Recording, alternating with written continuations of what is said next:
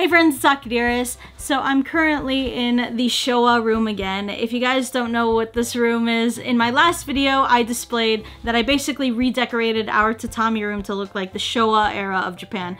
The Showa era is basically Japan from the late 1920s to the 1980s. So I really like the style of that period, and so I began a project by turning our room to look like that. So if you guys want to see the full tour, I'll link it down below. But in that video, I actually showed a lot of different things that are true vintage, like items that are from that period. So I said in that video that I was going to go test a few of them out on camera, such as the TV behind me, I've got the radio, and there's a few items in here that I didn't really show in that video that I'm going to do in this one. So I'm going going to be just displaying some stuff here and hopefully it all works because there's some that I haven't really plugged in because I've been a bit scared to do it. So this is my vintage radio. I bought this from an old woman from a thrift store and she couldn't really pinpoint to me the exact year that it was made, but she did say that it was from the Showa era, so I'll take her word for it. But I was originally gonna get like a vintage styled radio that is modernized so that I could connect it to Bluetooth. But she sold this to me for 9,800 yen and I just thought I, I really had to have it. It does still work, so I'm gonna turn her on and let you guys see how it sounds. 新しい人が入ってきたり入り口が多分日本のところにできてるとか建築に入ってきたからなんかさらに多分才能が出てきたりしたのからそうそうなってるんです Okay, so there are a lot more clearer stations that play legitimate music, but because of YouTube copyright, I don't think I can really play them. But it does work, and when you get to the right station, it's pretty clear. It's not as grainy as what you guys just heard. And you can adjust the tone of it from low to high. You can adjust the volume. You can change it from FM to AM, the loudness, and the tuning of the stations. I don't really know what happened here. I guess what you can call the, uh, the dial for tuning. I'm not sure if that's mold or anything, but I've tried to wipe it off and it just won't come off. So if somebody wants to help me out, please comment below of what just happened to my radio. Also, it reminds me of how old Sony is. I have no idea how old this company is. Looking at something that's actually working from the past is pretty cool. So now I'm gonna bring you guys to my vintage television set that I got secondhand from online. It does turn on, but it doesn't broadcast. It's placed right next to my radio, and this was sold to me for 4,500 yen. My childhood did not grow up with a TV like this, with the dials and everything. I grew up with the late 90s sort of television sets, which is actually the one that's right here. So this one I'm not really too familiar with, and I didn't really grow up with my grandma uh, too much, so I don't really know if she had anything like this. But the dials are heavy. Like, it feels like I'm turning on a stove. Like, listen to this. Like... Like, it feels like I can feel all of the gears and all of the strings inside struggling to get this dial to move. Or maybe it was always like that. I guess this is where the speaker is? I'm just guessing. I have no idea what this is. For anyone that's older, they're probably like, oh man, it's so sad to see younger people, look, I'm almost 30, but it's they're probably like, oh man, younger people don't know how to work a dial TV. Uh, down here, I'm not really sure what these are, but I know that these are the kanji for color. Now, like I said, this doesn't broadcast, but it does turn on. So I'm gonna turn her on and show you guys. I'm not gonna leave her on for too long because it makes a weird sound that makes me really paranoid to leave it on. So here's the plug. It is old. I am so scared to turn this on. Uh, I think I just have to pull this little lever out.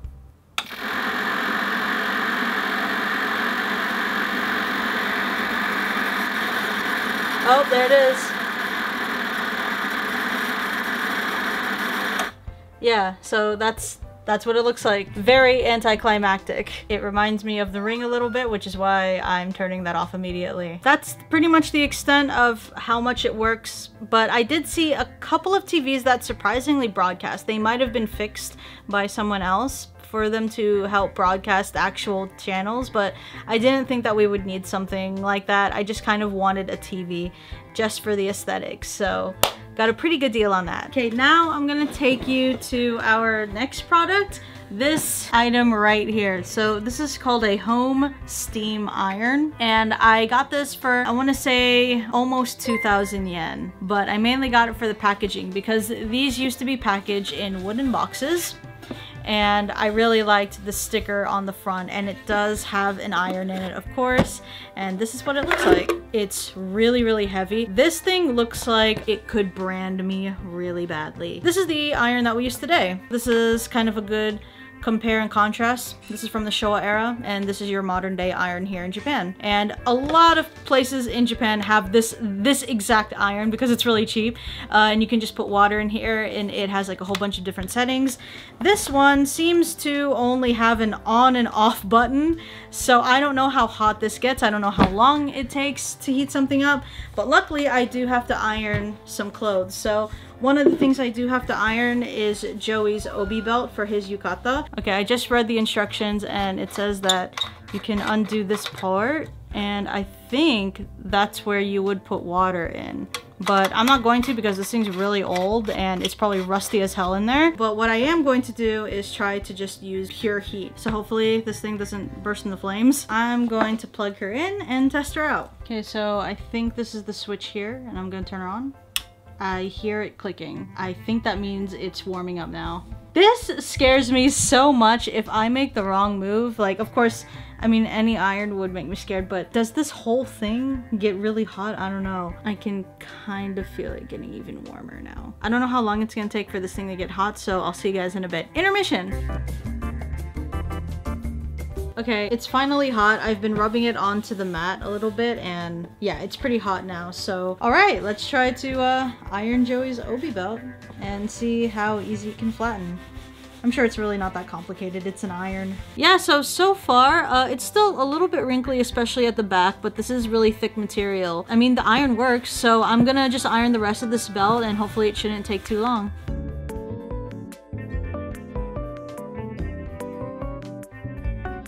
Dude, I would argue that this thing is actually ironing my stuff quicker than our modern one right now. So on a lot of the irons today, you can adjust the heat, but I guess on irons like this, it was just either on or off and I don't know how hot this is but I'm just gonna say it's pretty freaking hot. So the reason I don't want to put water in it is because I just feel like the insides might be really rusty and if that steam comes up, I'm worried that if it's to carry bacteria in the air and it's to get in my lungs, so I'm not going to even try. I'm not an expert at science, but that's just what my thoughts say is going to happen. Wow, I kind of almost want to use this iron for a lot of stuff because it's so hot that it's flattening it legitimately faster than our modern iron right now. I think I remember there used to be like old shows where the mom would be panicking that she left the iron on. I can see why because this thing gets so fucking hot. I'm just gonna say that this iron is actually starting to get a little hot just to the touch. Okay, I'm just gonna take a break just to tell you guys that when I hold this, if I even like hold it up like this, because sometimes by habit my thumb goes over like this, this is really hot. Yeah, I, I can imagine a pretty bad accident happening from these. Okay, so Joey's belt is finally done. It's still kind of wrinkly here at the beginning, but I'm gonna probably have to go over that again. But I think it did justice. I'm glad that it still works. It got really hot, but I got through this in like no time. I have no idea to figure out how hot this thing gets exactly, but I'm just gonna switch her off right now. I'm gonna wait for her to cool down. But Joey's belt's finally flattened and I think it worked out for the best. I'm gonna tell Joey that I ironed his yukata using an iron from the Showa era. Okay, so I have one last product to show you guys and it is this. This is called the Light Hair Dryer Curly one and a half it's a weird name but this is a kit that girls could use to basically do any hairstyle that they wanted at the time it comes with a hair dryer it comes with a brush a curling iron and on the side it gives you like a fun little tutorial on how to get bangs that were really popular back in the day. I don't know if the world is ready to see me with this look, but it's unused, so I could technically use this today, but let's just open her up. This is the hair kit. I don't see one strand of hair on this. So this is the main handle that you would attach any of the accents to. And it looks like that it's kind of supposed to be for maybe portable use. The switches are in English, so it has the push button to turn it on and just like the iron, it has only hot or cold. So unlike today's curlers, you can't adjust the heat of this. So this is everything that you can attach to it. So I think this one looks like, I guess a hair dryer. And this one is a comb. This one that is also kind of like a hair comb. Brush. And this one is the curler. I think I'm gonna go with the curler just to see how it works. I think all you have to do is just attach it on here I have faith in this actually not being used because this doesn't look like it has any signs of being pre-owned other than the fact that it's old. Wait, no, there is one sign. What? I think I caught you in 4K. I see a little bit of hair right here and it's like a long strand of hair. It came out from this brush. I guess I'll just use the curling iron. Plus that seems more fun. I'm expecting this to just get really hot. Okay, so seems simple enough. All we have to do is just turn it on and put it on hot. What? I forgot. It's a hair dryer. Okay, so because it's a hair dryer, that makes sense because hair dryers are the same way. You can't adjust the temperature on those. You can only basically put them on hot or cold, but let, let's let's try it on this.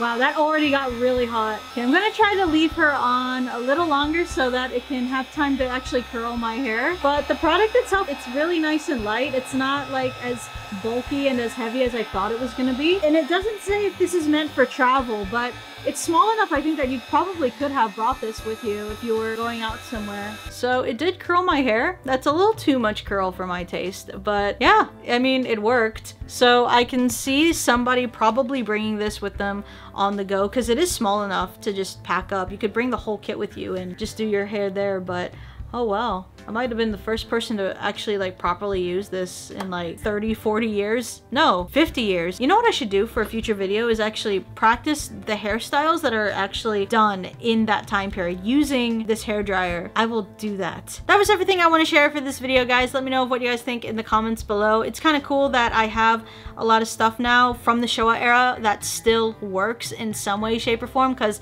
you kind of get a window into how things were done back then. Things were just kind of like simple, quick, just want to get it done and be pretty and that's it. So yeah, I think that it's kind of cool that I have a lot of this in I guess you could say this is my collection now. But I appreciate you guys for watching. Subscribe to my channel for more content and I will see you guys in the next video. Bye!